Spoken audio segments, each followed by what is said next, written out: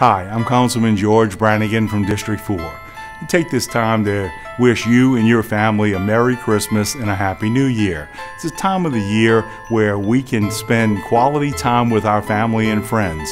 Don't miss it and make the most of it. It's also a time of the year where you reflect back and you look at 2018 to see if there are any changes that could be made in your life in 2019 to make 2019 your best year ever. Remember, you can change the future, you can't change the past. I also want to thank you for giving me the opportunity to serve you as the District 4 Councilman. I'm humbled by the support and the positive impact that I'm feeling from the residents. If there's anything that I can do for you, please do not hesitate to call.